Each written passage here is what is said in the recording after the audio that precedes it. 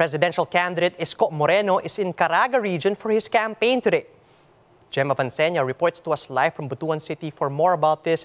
Gem, good afternoon. Much has been said during yesterday's from your camp.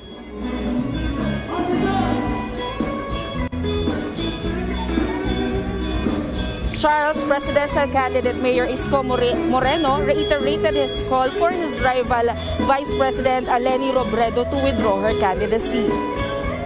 Moreno said he urged Robredo to withdraw because she was the first one to ask him to it.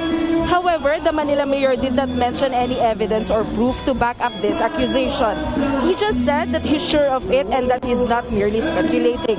Moreno also accused Robredo's camp of playing dirty politics by spreading false information about him. A photo of Moreno and frontrunner Bongbong Marcos from last year resurfaced on social media after the Manila mayor's initial call for Robredo to back out yesterday. According to Moreno, the photo was taken during a wedding and the opening ceremony of Emerald Restaurant in Manila, in which Marcos Jr. was also one of the guests.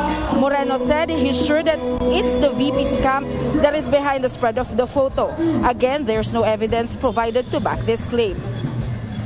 Charles, thousands of people are now here in Guingona Park in Butuan City for Isigaw Mo Isko sa Butuan rally. And then tomorrow, he will continue his Caraga region campaign in Tandag City and Agusan del Sur. Charles? Thanks for that update, Gem. That was Gem Avanceña reporting live from Butuan City.